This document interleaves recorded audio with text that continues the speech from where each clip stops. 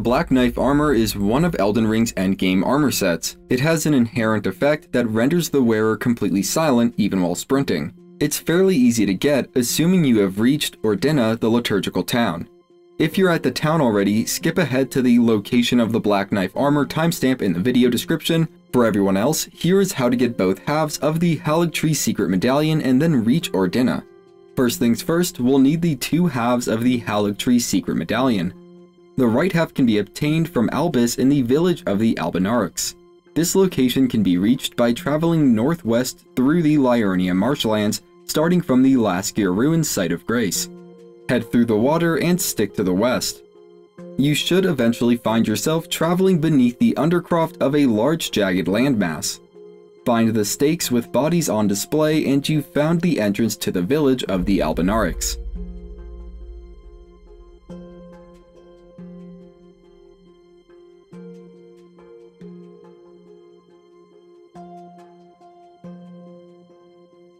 Albus is just slightly east of the site of Grace here, disguised as an inanimate object.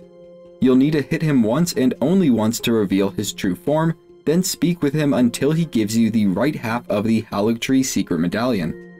He should also give you a lead on the whereabouts of the medallion's left half. It's due west of the Laskyar ruins, and the location you are looking for is the Lakeside Crystal Cave.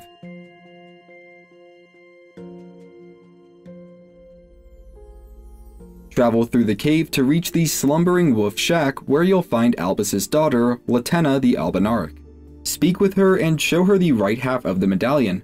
She'll reveal that the left half was taken from her by a warrior to the far north in the mountaintops of the Giants. Now, to gain access to that region, you'll need to acquire the Rold Medallion. This medallion is given to you by Melina after you defeat the Omen King at the Elden Throne. To reach the Elden Throne, you'll first need to defeat Starscourge Radahn in Caelid and then make your way through the royal capital. Once you've managed to get the Rold medallion, you can head north into the mountaintops of the Giants. Starting from the Grand Lift of Rold, it's a pretty straightforward journey up north to Castle Sol. You'll then need to battle your way through the castle and defeat the boss at the end to acquire the left half of the Haligtree secret medallion.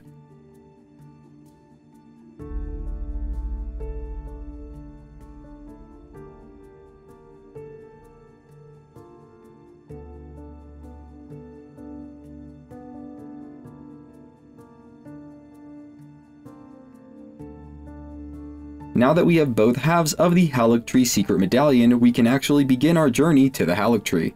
Start by returning to the Grand Lift of Rold site of Grace. Stand on top of the pedestal but don't hoist the ordinary medallion.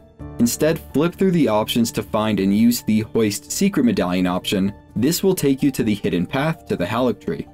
Now this path is actually a full-fledged explorable dungeon, but to reach the Haligtree you can just take the very straightforward path through to emerge on the other side.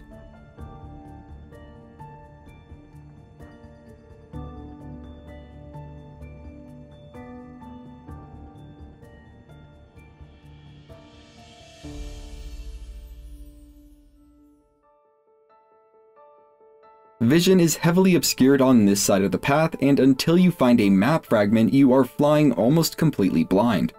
Using the compass on your HUD, head almost directly north with a slight tilt towards the east. You should quickly reach the consecrated snowfield site of Grace.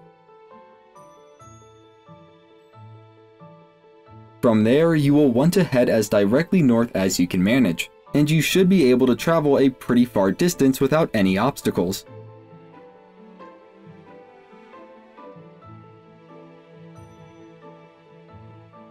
Eventually, a cluster of rocky formations that are directly in your path will become visible. Skirt around the right side to make a safe drop down to the ground below, then head northwest to find the inner consecrated snowfield site of grace a very short distance away. Visibility will clear up substantially when you move north from this site of grace. Head north and grab the map fragment for this area, then proceed to Ordina the liturgical town.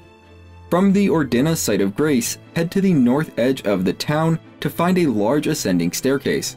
Beneath the staircase there are a couple of passages. In the smaller of the two, a Black Knife Assassin's corpse can be found with the armor set free for the taking. I would classify this armor set as medium weight, and its damage negation and resistance values seem pretty average when compared to similarly weighted armors.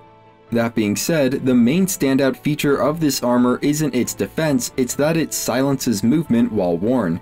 Even sprinting at full speed, players wearing this armor will not make a sound, and here is an example of that.